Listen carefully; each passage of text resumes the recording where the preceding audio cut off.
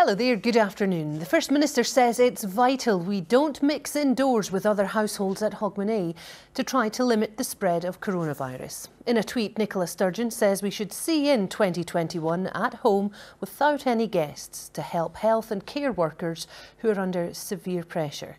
It comes as people in Dumfries and Galloway are being urged to stay at home to suppress the spread of the new variant of coronavirus following a spike in cases. Katie Hunter reports. Now, if you're planning to send a parcel to a country in the European Union, there's new rules to be aware of.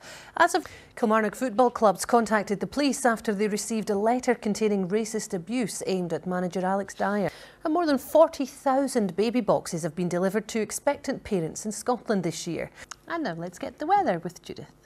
Good afternoon. Well, many of us woke up to a really quite hard frost this morning, but it's been a beautiful start today, some snow lying on the ground.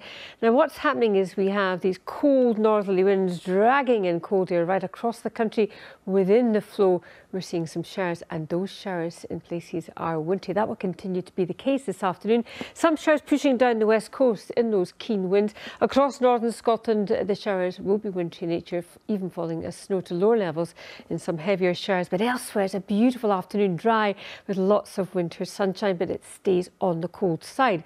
And cold indeed this evening. We have a Met Office yellow warning combined for snow and ice for western coastal areas and across the very far north of the country. As you can imagine, difficult driving conditions, but ice a concern anywhere tonight. Showers continuing in the north. They will be wintry in nature, ganging together across the northwest, but actually plenty of dry, clear weather during the overnight period. Another widespread severe frost in places, temperatures possibly as low as minus 8 Celsius. Once again, we saw not far off that last night. We saw a cold frosty start to tomorrow with that ice risk first thing. Across northern Scotland, we still have those wintry showers. They will continue throughout the day. Bear in mind the warning is still in place, but generally plenty of dry, sunny weather for most of us, and it stays cold. That's your forecast. And that's it. Reporting Scotland's on at the earlier time of 20 past six. Bye bye.